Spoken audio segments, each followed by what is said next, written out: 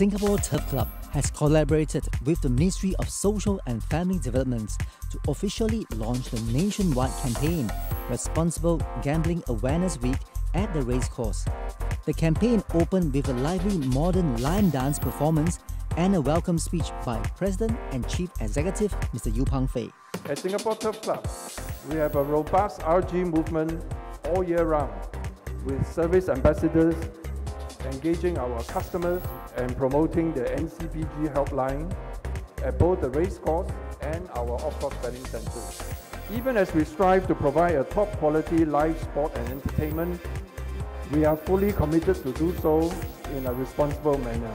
Mr. Yu and Mr. Patrick Liu, both the co-chairs for the Responsible Gambling Forum, together then unveiled the RG commitment wall that was filled with pledge cards handwritten by staffs and customers who supported the movement. With the theme Make the Right Move, Play Responsibly, brochures were distributed during the launch and interactive games were conducted on site to help reinforce our efforts to educate customers about responsible gambling in a fun and memorable way.